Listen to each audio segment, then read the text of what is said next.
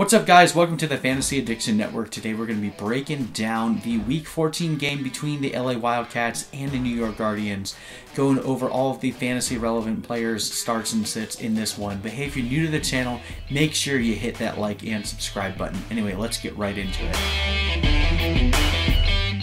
Alright guys, so as I said, breaking down the very first game on the slate, the Saturday afternoon game between the Wildcats and the Guardians. Now, a week ago, this was looking like a potential rebound game for the Guardians, getting to go back home after losing two games, but then the Wildcats surprised everyone and destroyed the DC Defenders on Sunday. So it's going to be a very interesting game. This is a very important game for the Guardians to win, but now it's looking like they are much less favored to do so. This is one of the lowest, I believe this is the second lowest over, over under on the week.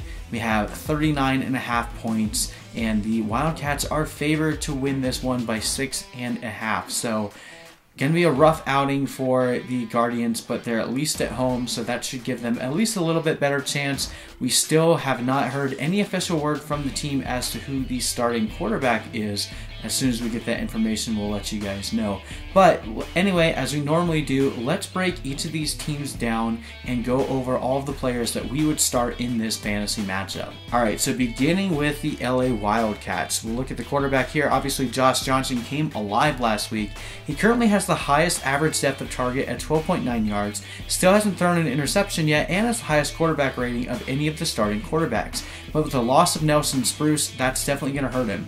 Traveling to New York with a ball hawking defense, and if he can survive throwing a pick this week, that's going to be really good for him. But uh, know that no team has surrendered less quarterback fantasy points than the Guardians at this point, and part of that has to do with just the fact that the other team isn't having to do nearly as much as we saw last week with Jordan Ta'amu. So this could definitely be more of a down game for Josh Johnson. I'd still start him though. There's not enough quarterbacks to really be too picky in this league. Looking at the running backs, we need to continue monitoring the injury report. Martez Carter exploded onto the scene last week. So if he's out, that's going to be a huge bummer to this team, but I think he'll still end up playing. If he does play, I think you can start him, but if he's out, I'm probably not going to play either Larry Rose or Elijah Hood in this one. Just too much ambiguity there. Martez Carter's the only guy I would trust this week, so make sure he's active before putting him in your lineup. Uh, looking at the wide receivers, Tre McBride is practicing in a limited fashion and is a must start if he is active, especially with Nelson Spruce out. Regardless, though, this is a week to start Jordan Smallwood, who should look to get a lot of the targets that would normally go Spruce's way. I'll hold off on endorsing Kermit Whitfield or Adonis Jennings until we see either have a decent fantasy day. Unless McBride is out, then I'd probably be willing to throw Whitfield into my lineups. Uh, I'd also bank more on Whitfield if I had to make a bet between those two, but it's looking like McBride will play, so I would play McBride Smallwood and no one else here. Uh, looking at the tight end, Brandon Barnes may finally see an uptick in targets this week as well, although you're really only starting him in leagues where you have to start a tight end. Uh, probably not going to be flexing him in leagues where you don't. And then finally, looking at the defense with the implosion to the Guardians' offense and the surprising performance of LA last week, and honestly, even the week before, they were doing okay in terms of forcing turnovers. So I would imagine that they should have another solid performance here, even though they're on the road in New York. I'm still pretty confident in starting the Wildcats defense this week. All right, so let's jump over and look at the New York Guardians. Now, beginning with the quarterback situation here, we have, uh, you know, probably the biggest quandary in terms of quarterbacks across the XFL. We have no clarity on who the starter is. Matt McGloin is hurt, and he's looked pretty rough in terms of his leadership and just his play. Marquise Williams had below 50% completion percentage last week, and Luis Perez was the only guy who was able to get into the end zone last week. So I'm hoping that they end up going with Perez, but again, we haven't heard anything official yet. We'll keep you guys informed. Regardless, I wouldn't really be looking to start anyone here, even if we knew right now that Luis Perez was the starter, I'd still rather play a wait and see with him, uh, putting him in your lineup.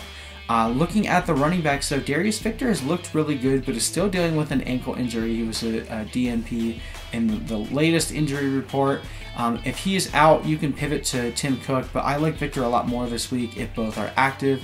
And then Justin Stockton finally saw some usage last week. He was a guy that we were touting before the season started. He looked really good in the screen game. He definitely had a lot of juice. I would uh, like to think that they're going to end up using him a lot more this week.